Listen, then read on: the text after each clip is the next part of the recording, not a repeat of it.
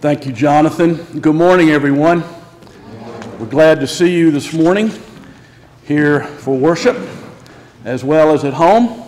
Those of you who are joining us by Facebook, we thank you for your uh, presence with us through that medium. And those of you who will watch later on YouTube, we also extend to you that same uh, thanks for taking time to do that. We want to uh, move forward. We've got a lot to do this morning. We are installing and ordaining uh, deacons for the coming year. And uh, as one said, their pay period starts today. And so uh, I'll let you guess which one said that when. All right, y'all behave.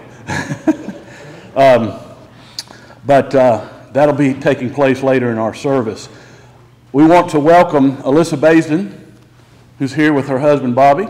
She'll be uh, sharing in music in a, in a short while, and we look forward to hearing her.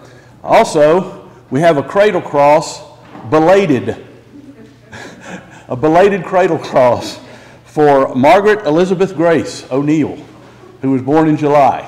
And uh, we're glad that uh, uh, Laura and Nigel are here, and, and uh, I guess both girls are down in the nursery. Oh, one's asleep. Okay. All right. So I, that's one person I don't have to worry about putting to sleep. She's already there. Okay, that's good. That's good. Well, it's good to have you guys, and take that home with you when, after the service, okay? But leave me the stand, because I might need it again. um, anyway, guests, those of you who are here, family members, we, we welcome you and are glad that you're here to share a part of this special day uh, for those in your family. And uh, we look forward to that uh, very shortly. I think that's all. So we're going to move forward now into worship as Holly comes and calls us into worship. Please stand and join me for the call to worship. So may the blessing of the God who calls the people out of Egypt call us out from our comfort and our safety to embrace a journey of challenge and risk. May the blessing of the Son who kneels and washes our feet Call us out from our comfort and our safety to embrace and serve those who we meet on our journey. May the blessings of the Spirit, who weaves a dream of new community, call us out from our comfort and our safety to provide welcome and hospitality to strangers as well as friends. Let's pray. Creator God, thank you so much for bringing us out here today. Lord, we ask that you open our hearts um, to your word. We ask that you bless all of those who have served um, in so many different ways, um, especially our veterans today as we honor them this week. Lord, we ask that you just lay your hand on them and fill them with your spirit and let them feel the love and honor and respect that we all wish upon them and honor them with. Lord, guide us and lead us. Let your word fill our hearts and let us take it from here. It's in your name we pray. Amen. You may be seated. Today's sermon is about servanthood.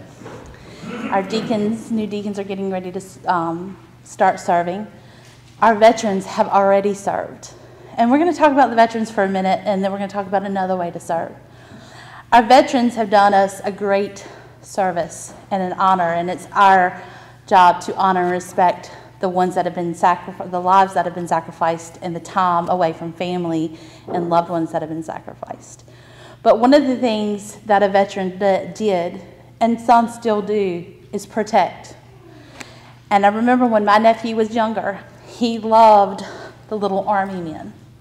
And he gave one to my mom and he gave one to me and said, You need to keep it in your bathroom. Now, I don't know why the bathroom, but it was the bathroom because, in, in the words of a four or five year old, because he's always going to be there to protect you. And that stuck. And to this day, I have an army man in my bathroom, and so does my mom, that my nephew gave to me. And it helps us to remember those who served. It also helps us to remember that we have a Christ that loves and protects us too. So I have army men down here and some in the back. Please take one home. And you don't have to put it in your bathroom, but you can put it wherever you like to help you remember not only the veterans, to honor, respect, and love them, but that we have a Christ that loves and protects us and that died for us. So please take a little army man home just to hold tight wherever you happen to put it. Another way to serve is through Operation Christmas Child, and that is coming up very quickly. And um, I've spoke before, it's one of my passion projects. I absolutely love Operation Christmas Child. And if you don't know what that is, Operation Christmas Child is where you take a shoebox, and these are the nice little plastic boxes, so you don't have to do one of these. Um, you can do just a regular old shoebox or a plastic box from Dollar Tree, and you fill it. You fill it with toys and hygiene items like combs and brushes and things like that. We filled this one yesterday. Crayons, deodorant, little cards, soap. There's a little basketball game, a puzzle, crayons, whatever you feel the need is for the child you want to fill this box. You will get the box, fill it up, and then return it here next Sunday, and then I'll take it to a distribution center. These will get shipped all over the world to kids who won't get anything else other than this box for Christmas. And I don't know if you've seen the videos, but you can go and search Operation Christmas Child and look at the videos and the joy on those kids' faces when they open the box and some of the stories you read about a little kid who ended up getting a shovel, like a little plastic shovel, and he was so excited because he could help his dad now do his job. It was something his family, he thought his family needed. Um, so the blessing that these boxes bring is amazing. Our kids are going today after church to actually go to Dollar Tree and fill their boxes. So these are over here, empty boxes. Please feel free to take one. Um, just return it to the church next Sunday so I can um, get it to where to the distribution center. I also have flyers beside it that tell you what to do, all the instructions, and items that are good ideas to put in if you just kind of don't know what to put in, and even at the bottom, some of the things that you're not supposed to put in. Make sure you pay attention to that because um, that changes from year to year sometimes. So, and then you also have your label for your box. Um, they do ask you to pay for shipping, which is $9 this year, and you just check whether it's a boy or girl that you filled the box for, what age you filled the box for. And you take the label to the top of the box. Um, one of the very cool things this year and last year, and I think it's been a few years, you can actually pay online your shipping and track your box and see exactly what country your box went to um, and, and see where you've been served and how far you've actually reached. So there are so many different ways to serve, especially this particular time of year, but this is one that's close to my heart. And again, we want to honor our vets who've already served and do continue to serve um, service now. So let's pray. Creator God, thank you so much for all the ones that are here to serve and that have served. Thank you for the blessing that they've provided and given. Help us to remember to respect and honor all of them. Help us to remember that we can serve in any and all aspects. It's in your name we pray. Amen.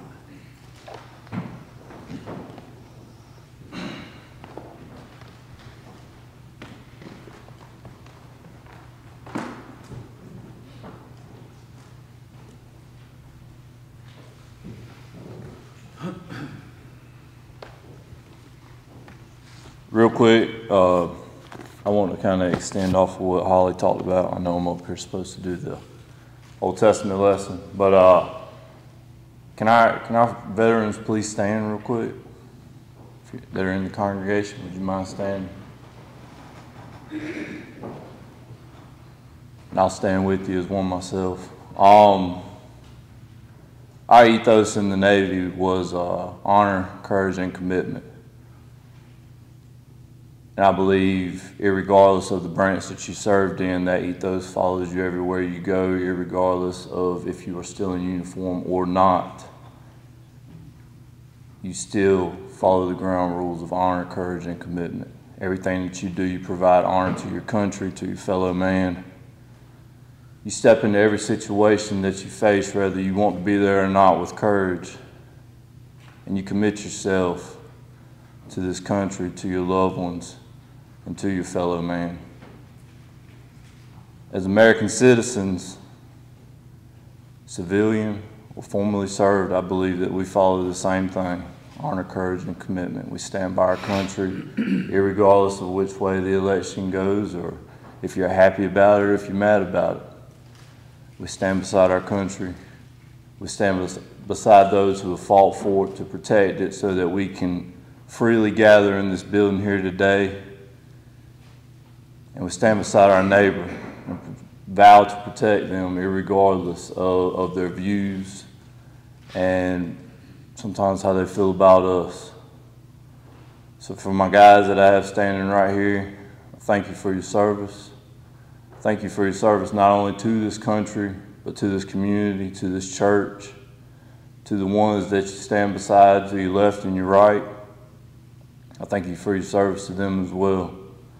God bless you guys. Thank you. All right, now what I'm supposed to do.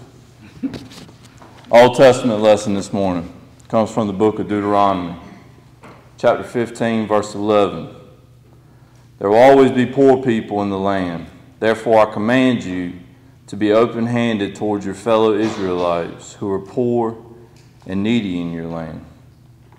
The word of God for the people of God. Thanks be to God.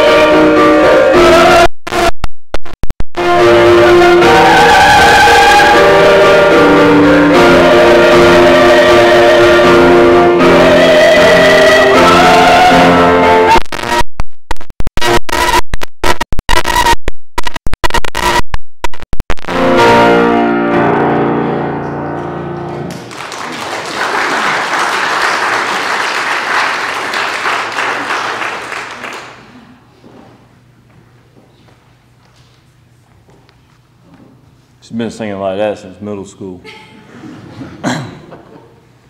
Our New Testament lesson this morning comes from the book of John, chapter 13, verses 12 through 17. When he had finished washing their feet, he put on his clothes and returned to his place. Do you understand what I have done for you? He asked them. You call me teacher and Lord, and rightly so, for that is what I am. Now that I, your Lord and teacher, have washed your feet, you also should wash one another's feet. I have set you an example that you should do as I have done for you. Very truly, I tell you, no servant is greater than his master, nor is a messenger greater than the one who sent him. Now that you know these things, you will be blessed if you do them. The word of the Lord. Praise his holy name.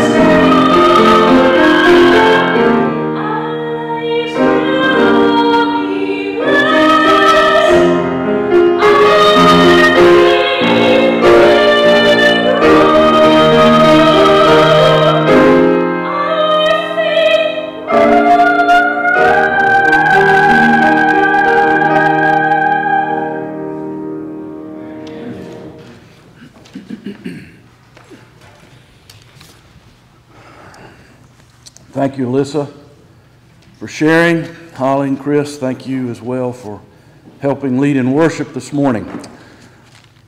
Servanthood, the big idea. Um, that's what we're going to talk about for a few minutes. And uh, to begin, I want to read from Philippians chapter 2, verses 3 through 7. When you do these things, do not let selfishness or pride be your guide. Instead, be humble and give more honor to others than to yourselves. Do not be interested only in your life, but be interested in the lives of others. In your lives, you must think and act like Christ Jesus.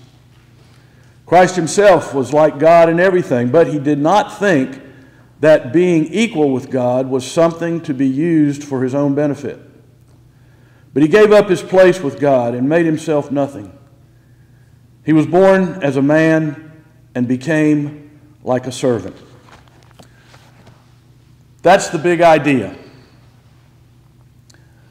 Be like Jesus, serving other people.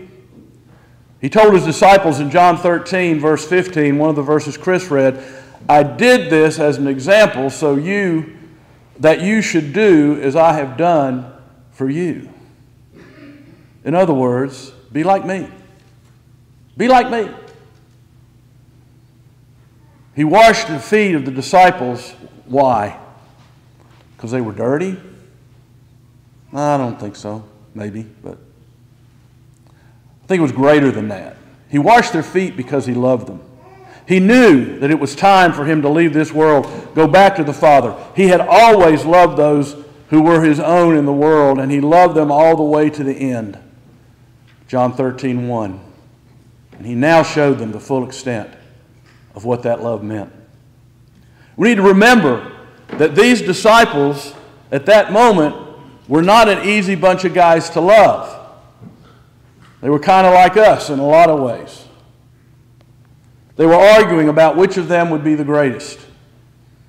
One of them would betray him, another would deny him, ten of them would desert him. But in spite of all of that, Jesus had the correct motivation for serving his disciples. And that motivation was because he loved them. So if we decide to be like Jesus and we serve others, why do we do it?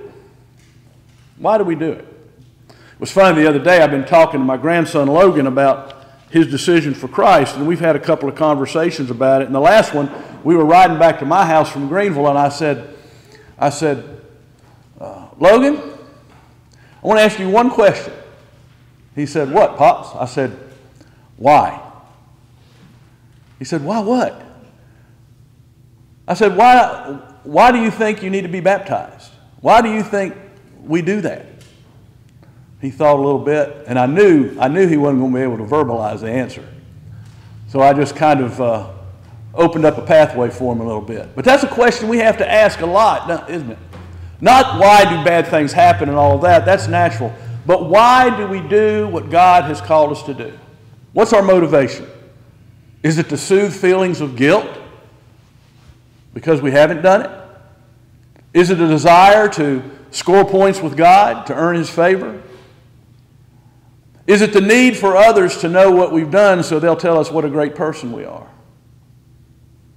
You see, we have to remember that love for others starts with a love for God and Jesus Christ. When we discover that God loves us with an everlasting, eternal love, and that we matter deeply to Him, we should want to obey Him. Nothing can separate us. We read in Romans a whole laundry list of everything. None of that can separate us from God's love. And one of the most important commands that Jesus gave us is found in 1 John 4 10 and 11, and it's a restating of Jesus' words in Matthew 22 when he said, This is love, not that we love God, but that he loved us and sent his Son as an atoning sacrifice for our sins. Dear friends, since God loved, so loved us, we ought to love one another. So, how can we be like Jesus? Have the correct motivation serve others because of love. Love motivated Jesus to wash the disciples' feet because he focused, he was focused on what other people needed. Be they the disciples, the man with the withered hand, the man who had been born lame, the man who was blind, the woman taken in adultery. These are all people that we wouldn't really hang out with. Yet, because of his love for other people, this is what Jesus did, and it was his motivation. Our problem is we're in the business of looking out for ourselves, many times at the expense of other people. And it was just as true in Jesus' day as it is in ours. And good Christian people are not exempt from this. While we're obsessed with having our own needs met, Jesus was different. During the Last Supper, Jesus knew that he was going to die in a few short hours. But rather than focus on himself, and what was facing him, he what? Focused on the needs of his disciples to continue those teaching moments with them before his death. So, what's a good contrast? Well, let's contrast Jesus and Judas. Judas sought personal advancement at the expense of others. John 12, 4 to 6 says, Judas Iscariot, one of Jesus' followers who would, who would later turn against him, was there. Judas said, This perfume, this is a story where uh, Mary broke the, the, the, the, alabaster bottle of perfume and, and put it on Jesus' uh, feet and head. This is what G- Judas was saying. This perfume is worth an entire year's wages. Why wasn't it sold and the money given to the poor? But Jesus really didn't care about the poor. He said this because he was a thief. And he was the one that kept the money box. And he often helped himself. He didn't care about the poor. He wanted that money to go in a box so he could kind of slip a little few bucks every once in a while and nobody'd know. Then over in Matthew 26, then one of the 12 apostles, Judas Iscariot, went to talk to the leading priests. He said, What will you pay me for giving Jesus to you? And they gave him 30 silver coins. After that, Judas watched for the best time to turn Jesus in. He was out for himself. He didn't care about other people. But look at the contrast now. Jesus, Philippians 2 3 to 8 reminds us, took upon him the form of a servant for the benefit of others. John 13 3, he did not serve his disciples because he forgot who he was, he knew who he was. Knowing the Father had given all things into his hands. He knew, Jesus knew where he came from and that he was from God. Jesus knew where he was going, and that was to fill his place in God's kingdom. But there's not only a contrast between Judas and Jesus, there's also a, par- a parallel. The parallel is between dirty feet and dirty hearts. He saw, Jesus saw the disciples' dirty feet. So during the meal, he stood up. He laid aside his garments. He always had the nature of God, but he did not think that by force he should try to remain equal with God. So he took a towel and wrapped it around his waist. He made himself of no reputation, took the form of a servant, and when was made in the likeness of men. He poured water into a basin and began to wash, wash the disciples' feet. He was humble and walked the path of obedience all the way to death, his death on the cross. And after Jesus finished washing all the disciples' feet, he got up, put the towel away, put on his robe, and returned to recline at the table with these men. Here's a key point, I think. Jesus saw the disciples' dirty feet and left the table to show true servanthood. He sees and has seen our dirty hearts, so he left heaven, came to earth to provide each of us who accept him as Savior eternal salvation. And that one more act of service would follow the ultimate act of service, the giving of his whole life. You see, as Jesus poured that water into the basin to wash the disciples' feet, he would pour out his blood on the cross to cleanse our dirty hearts. The ultimate, if you will, gift. So, what should our response be as we instill, install new deacons and ordain two new folks to the, to the diaconate today? This is not just for them. We don't get to pass the buck to the deacons to do this. Yeah, but Rick, the Bible says that, you know, the apostles were doing that, and they, that's true. Here's what, here's, in, in one short, concise, this is, I've kind of taken an off ramp here for just a second. In, in, in a short, concise sentence here, I'm going, I'm to tell you what I believe deacons are to be. First, what they're not to be. They don't determine how, how many doorknobs we need to change in the building and whether we should do it. They don't determine what color to paint the hallways or whether or not to replace lavatories in the men's and women's bathrooms. That's not what deacons do. Deacons, deacons' purpose is to extend the ministry of the pastor. In a few weeks, you're going to find out.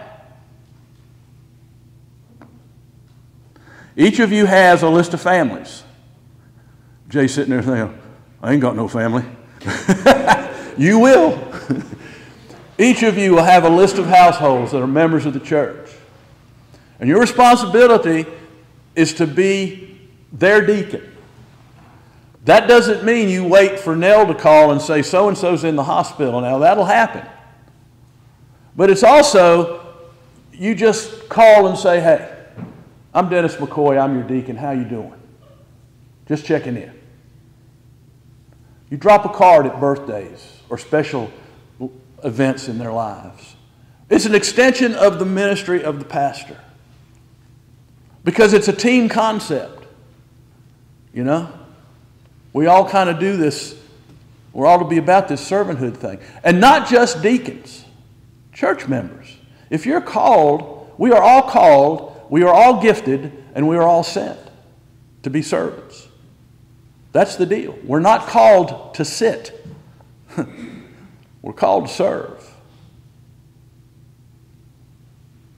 So, what is our response? Our response then is to have the right attitude, to serve others from a true sense of love mixed with a true sense of humility. Listen to these words from Matthew chapter 6. You see them on the screen. Be careful. When you do good things, don't do them in front of people. Now, I'm, I put, this is NIV up here. I'm reading actually from the New Century Version, so it's going to be a little different. Be careful. When you do good things, don't do them in front of people to be seen by them. If you do that, you'll have no reward from your Father in heaven.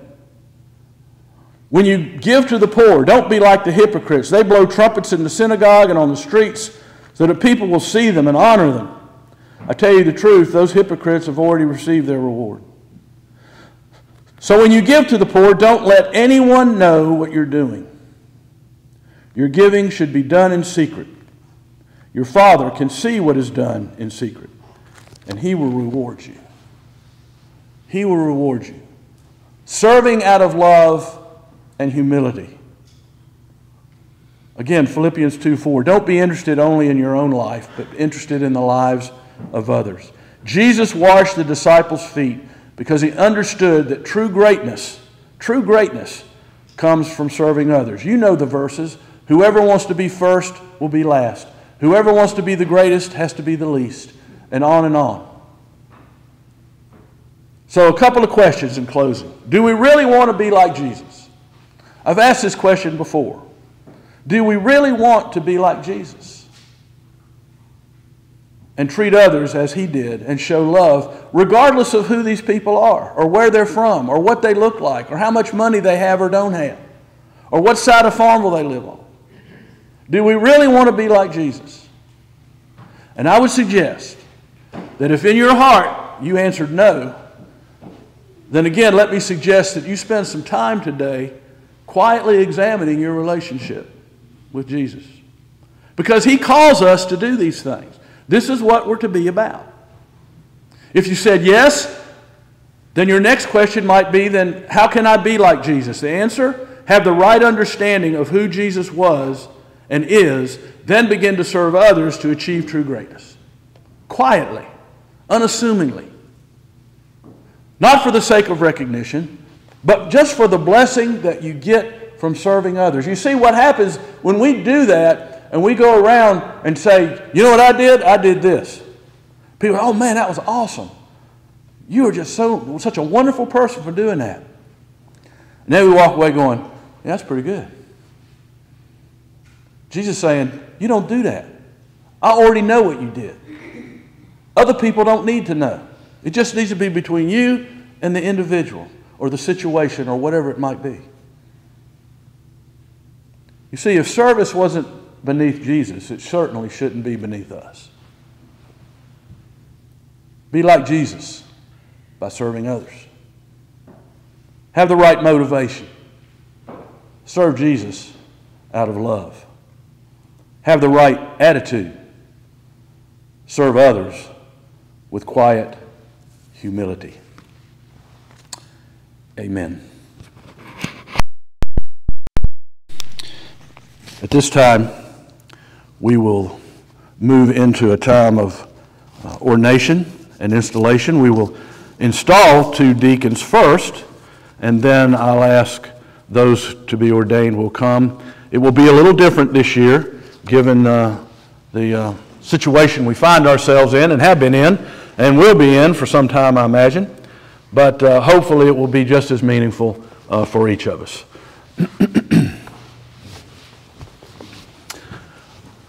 Judith McCoy and Carl Bonner, I'll ask you to stand, please, if you will face the congregation.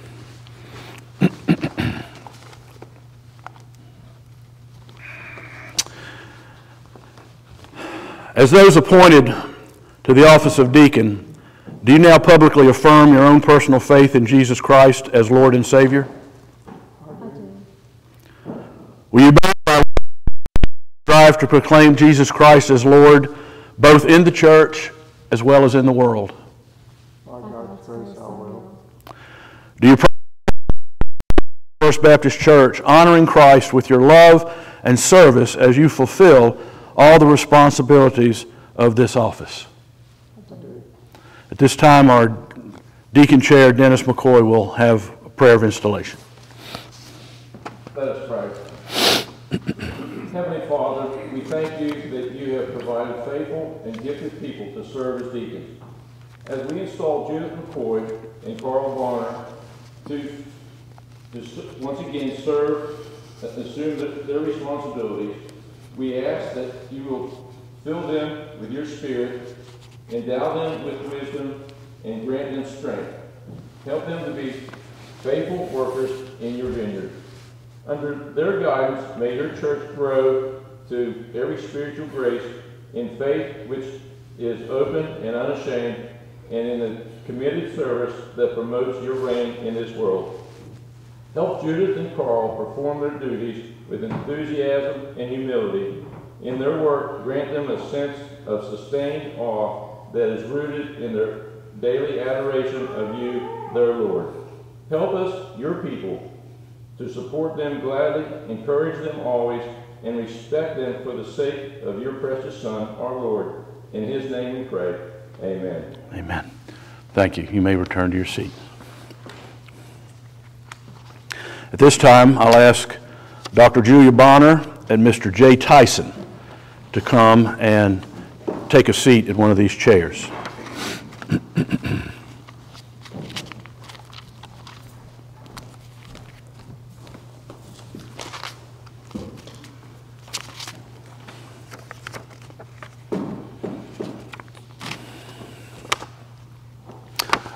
Those of you in the congregation will see, hopefully you can see that, um, the response that you will share as I read, and then the candidates will also be responding as well. First to the congregation. Have you, members of this faith community, seeking guidance of divine wisdom, chosen these who now sit before you to be deacons in our church, overseeing the spiritual welfare of our church?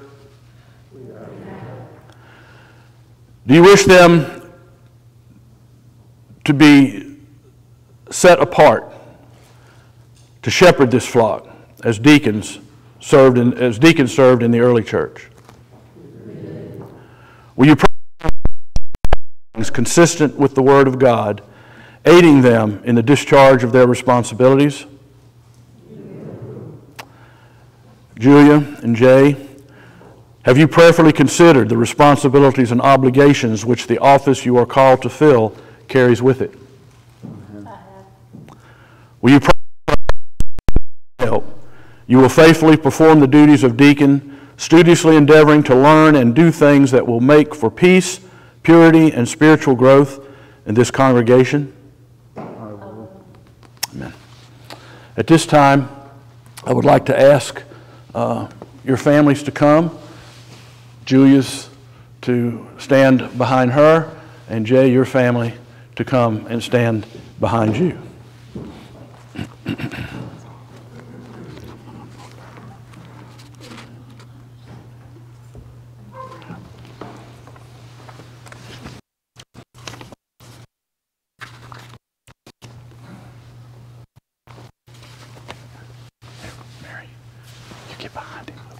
Yeah, I'll just get flank flanker on either side be fine.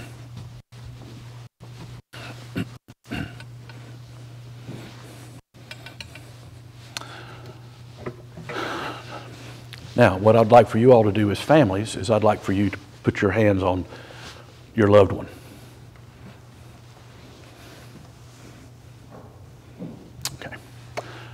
Course, we normally join hands as a congregation, but we're not going to do that. I am going to ask you to stand, however.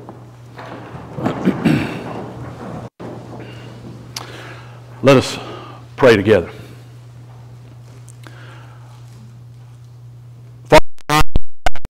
Early church, when uh, there was a need to set apart individuals to help serve the needs of those in that early congregation and community.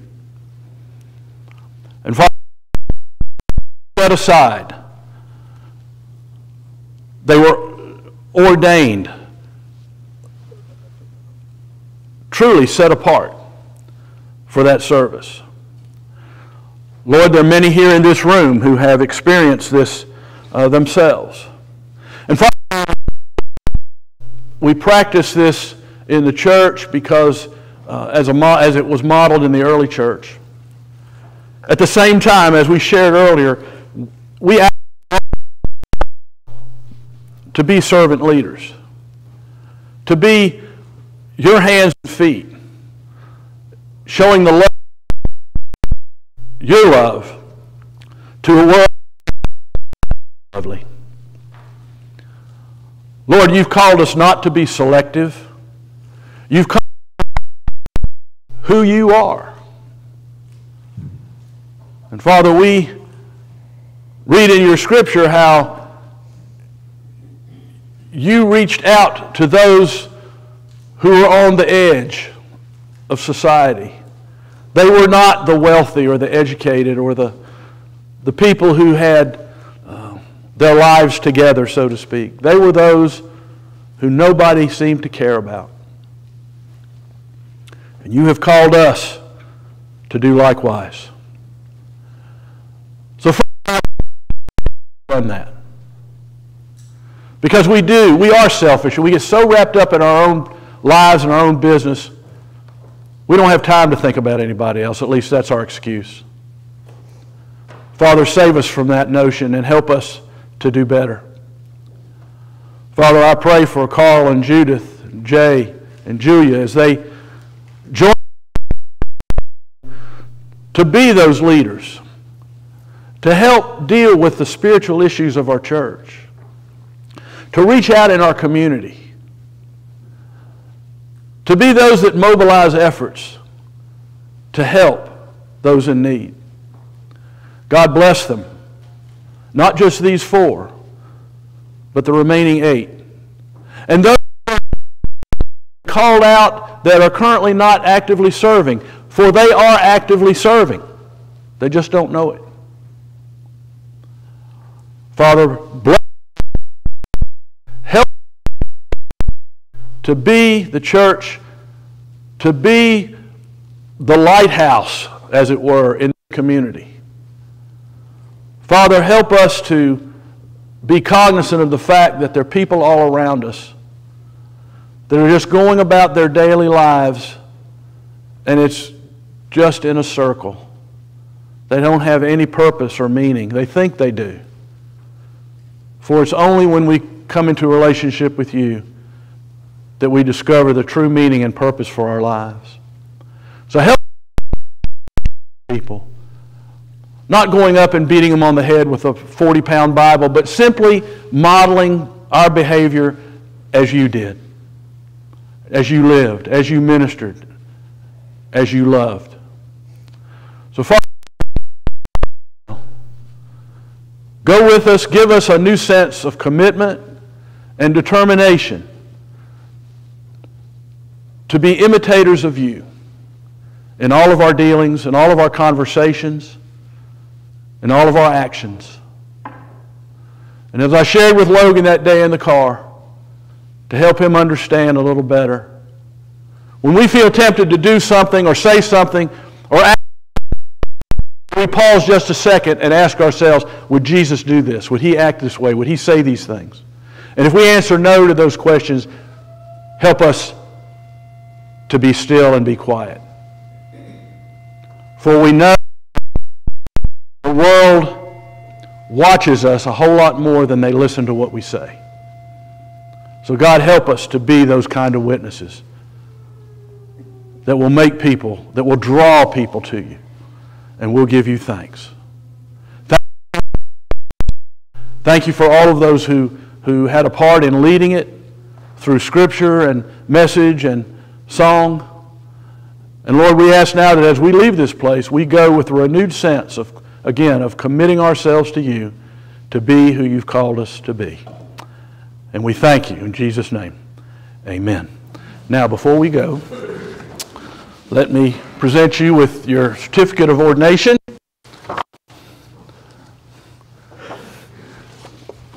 Congrat- yeah, you can stand up. It's okay. Congratulations. Thanks. There's not a Dakota ring. I'm sorry. Oh, Carl, I'm sorry. Jay, congratulations. God bless you guys. You're going to do good. If I can do it, anybody can. That might be true, but I don't know. Thank you all for being here today. God bless you. Uh, have a great week. Take care of yourselves and each other, and we'll uh, see you next week. I hope the service will be easier to upload today. I've done. A, I've, I've tried. I'm going to try something new. I say that about every week, but we'll see. But uh, when the link's up, I'll post it, and Nell will put it on uh, the website so you can watch it again. Okay? Thank you. God bless you. Go in peace. What?